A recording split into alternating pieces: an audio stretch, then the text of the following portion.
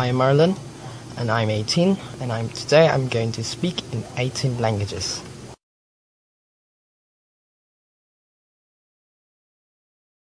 Pakilala muna ako sa inyong lahat. Ako po si Marlon Ramos, labing walong taong kulang na. At purong Pilipino po ako at ipinanganak ako dito sa Pilipinas. At dahil dito ako ipinanganak sa Pilipinas, natural lamang na nagsasalita na ako ng Tagalog. Ang wikang Tagalog ay aking ginagamit sa pang-araw-araw kong buhay.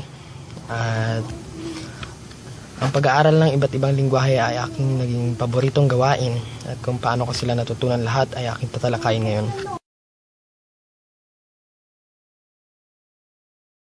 At the age of six, I was taught the English language. It is the second language of the Philippines, and so we were taught English, the English language here in the Philippines, in like in the first grade and up to college, I think. So that is why I think English is a language that I'm most comfortable speaking with because you know I've studied uh, a lot of years. I'm fluent in it, and I could speak with any English speaker in the world. Well, I think. Learning languages wasn't in my mind then. it's like it's the last thing I could do, but at the age of 12, I knew I wasn't contented with only two languages. Empecé a aprender idiomas extranjeros cuando tenía 12 años y el español fui el primero. Pienso que la razón por qué decidí de aprenderlo era cuando miré una película de la biografía de nuestro héroe nacional, José Rizal. La película estaba en filipino y español y en ese momento me dije que me gusta el sonido de la lengua española, pues voy a aprender ese idioma. Al comienzo tenía dificultad en la gramática porque a diferencia de Tagalog, el español tiene muchos verbos tiempos que no entendía, pero seguía con determinación de aprender ese idioma.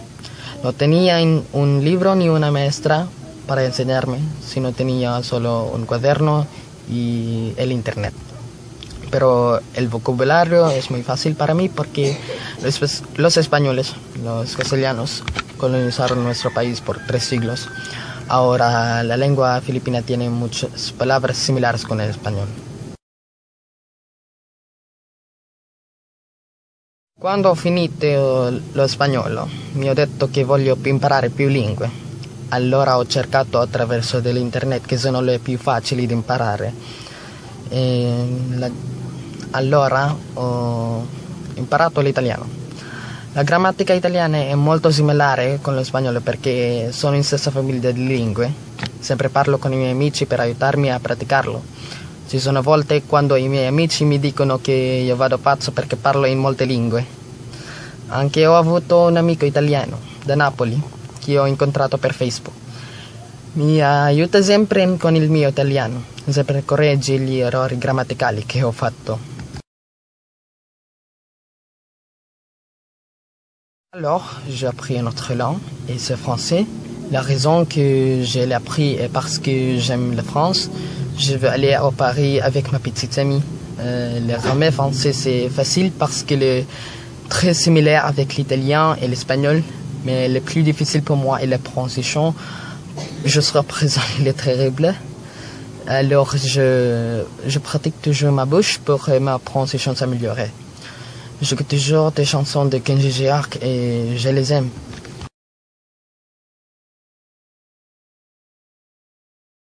Agora eu vou falar português. Uma vez quando eu estava assistindo vídeos no YouTube, eu encontrei um music video e a canção estava em português. Eu fiquei surpreso que posso entender as letras.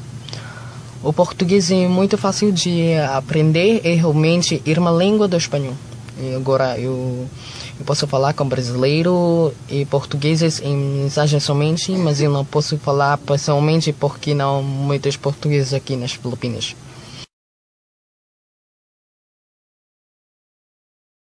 Jetzt will ich Deutsch sprechen. Mein Kopf explodierte, als ich Deutsch studierte. Es ist sehr schwer, um zu lernen. Aber ich sagte meinem Geist, dass ich Deutsch lernen kann, wenn ich will, so ich die deutsche Grammatik lernte. Und dann lernte ich, dass keine Sprache ist schwer, wenn man resolut und begeistert, um eine Fremdsprache gut zu lernen ist. Jetzt kann ich Deutsch sprechen. Ich habe immer gesprochen mit den deutschen Sprachern.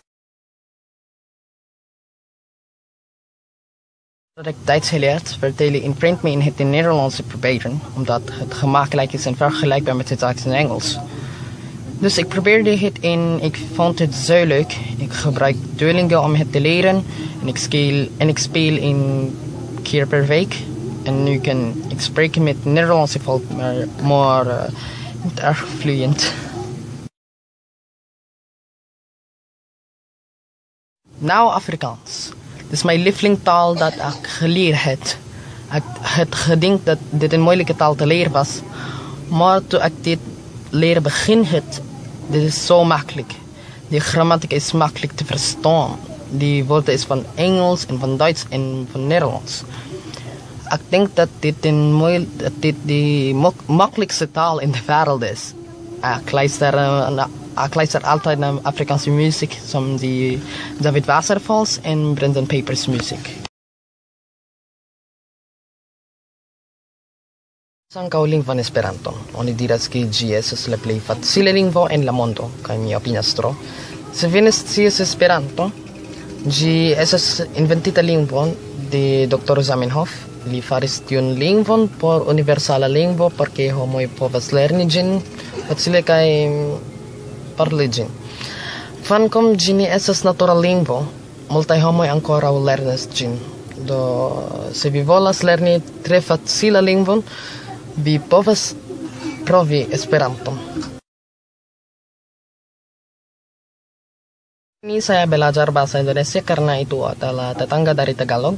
Banyak kata dalam bahasa Indonesia yang mirip dengan Tagalog karena mereka dalam keluarga, keluarga yang sama bahasa. Banyak orang dari Indonesia membantu saya untuk meningkatkan saya bahasa Indonesia.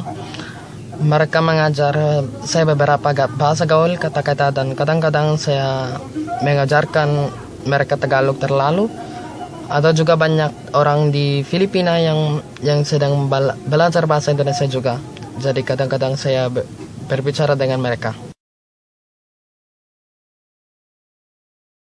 Kan tala i svenska men bara lite. Jag tycker om svenska eftersom det, det låter vackert och sexigt. Jag upptäckte detta språk när jag hörde en låt från Veronica Maggio. Sången heter, heter Hut norr. Svenska är det ska, enda skandinaviska språket som jag vet. Jag hoppas att jag kan lära mig dansk eller norska en dag. Выйти, меня зовут Марлон, и я говорю по-русски, но я должен сказать, что я говорю зло. Я плохо говорю по-русски. Извините меня. Я изучал русский язык, потому что когда-нибудь я буду любить ездить в Россию. И я думаю, я думаю что Россия прекрасная страна. No, numele meu este Marlon, vorbesc puțin român, am învățat limba română anul trecut, dar acum nu mai vorbesc limba română. Am uitat cu multe cuvinte. Vreau să învăț din uh, limba română. 안녕하세요. 내 이름은 말론입니다. 한국어를 배우는 필리핀 사람들이 많은 있어요. 아, 그리고 나도 한국어를 공부해요. 한국어는 배우기 어렵는데 재밌어요. 외국어 공부하기 어렵다고 외국어를 배우고 싶다면 포기하지 마십시오.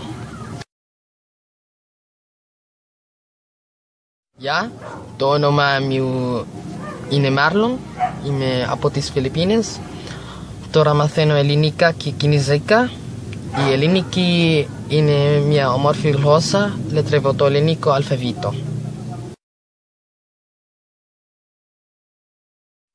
我叫马龙，我今天我是我十八岁，十八岁，我来自菲律宾，我我是中文和福建。我有两本中国诗，菲律宾很多多呃中国人。Ang agaw ni kamong amin, magergot ta, nalabi ta ibanag.